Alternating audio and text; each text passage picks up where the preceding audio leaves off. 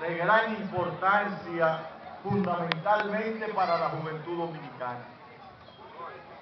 Porque lo que se está haciendo en el día de hoy aquí es tratar de rescatar la memoria histórica que nos la están robando.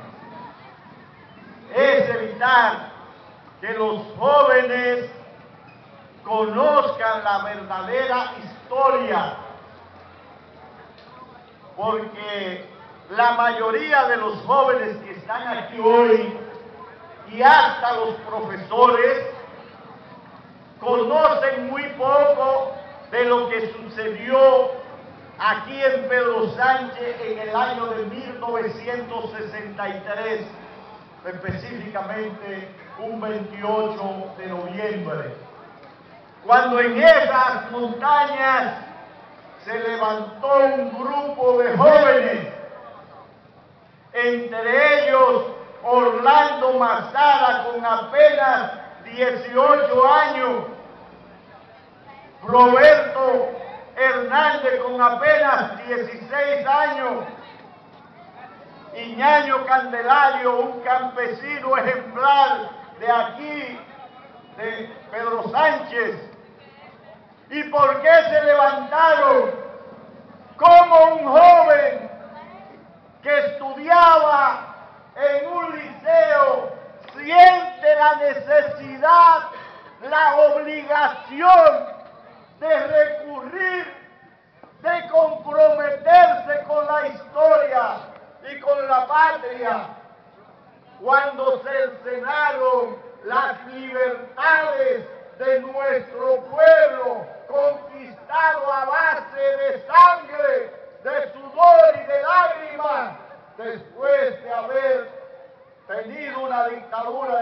41 años. Y ese Orlando Mazara no vaciló un momento con apenas 18 años en decir presente para levantarse, para conquistar la libertad del pueblo dominicano. Y tampoco vaciló un momento cuando las tropas norteamericanas en 1965 invadieron nuestro país con 41 mil marines y dijo presente y se enroló en Ciudad Nueva con los gloriosos militares constitucionalistas. Y ese heroico gesto lo situó apenas con 20 años como un dirigente político nacional que el 14 de julio lo envía a China a formarse política y militarmente y allí comprende la necesidad de la concientización de los dominicanos principalmente a los campesinos.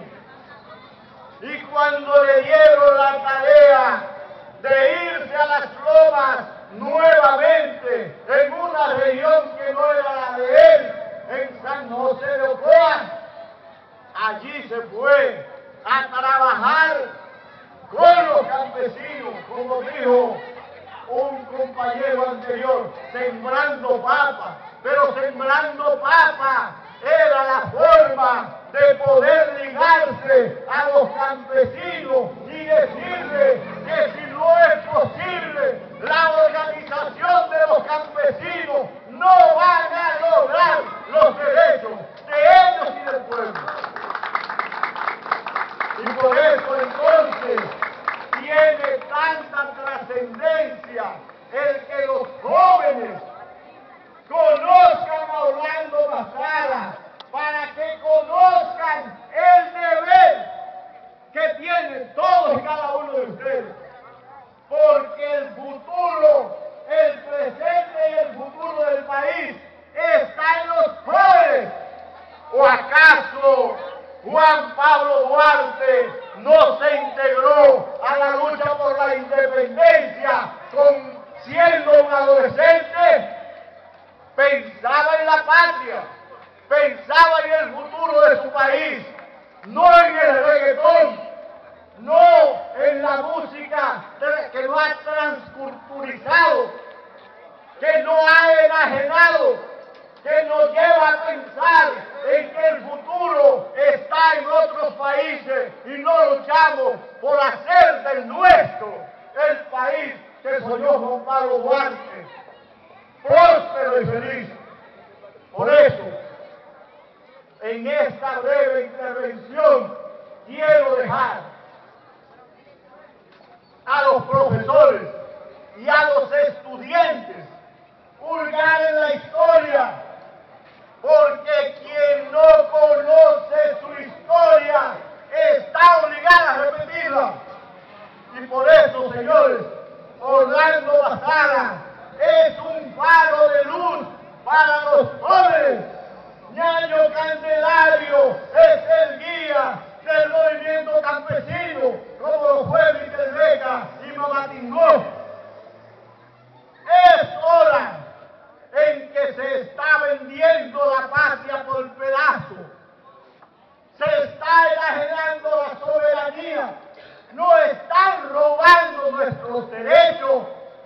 Es hora entonces de recapacitemos y sepamos que este país es de nosotros y debemos defenderlo. Así se honra a Pasara, a Duarte y a todos los héroes de la patria. Muchas gracias.